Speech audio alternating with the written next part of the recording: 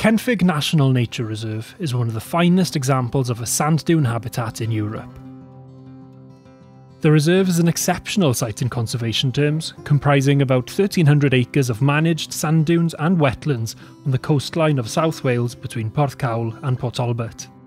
It supports, arguably, one of the most important sand dune systems in the UK with a significant population of the extremely rare fen orchid. The site also includes the clear waters of Kenfig Pool, which, at 70 acres, is the largest natural lake in South Wales. The Kenfig Corporation Trust and Natural Resources Wales have signed a five year management agreement to protect the many rare species of wildlife at the nature reserve. The Trust, as landowners, and NRW, as custodian of the Welsh landscape, have been working closely to put in place arrangements to manage the protected site. The reserve is managed to ensure the dunes are not overcome by dense grassland and scrub woodland, which stabilise them. This would result in the loss of much of the important and diverse dune wildlife. The agreement includes work to manage the grazing of the site by livestock and controlling vegetation growth to maintain a mobile dune system. This is important for rare dune wildlife to thrive. The money that is going to be provided to the Trust over, over the coming years will allow them to keep and maintain uh, this internationally important site for conservation. Um, it marks the end of a, of, a, of a couple of months really of working with the Trust, um, which has been really interesting, working with the community body, um, who are very passionate and enthusiastic about wanting to make sure that the, the reserve here isn't only managed but is enhanced.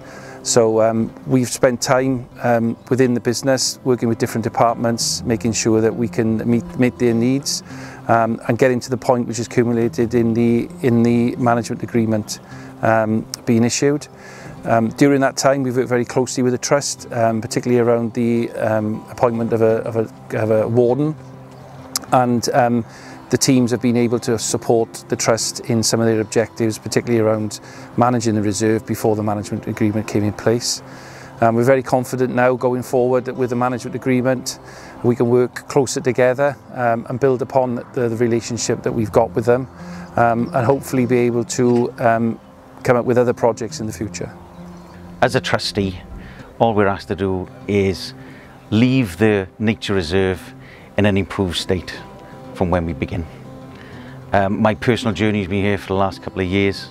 I'm working with Natural Resources Wales. We've, I think, made a, a milestone in progress that'll help preserve, improve, promote and protect. It, it, it really will underline our status, preserve where we are as a nature reserve and financially protect um, ongoing improvements.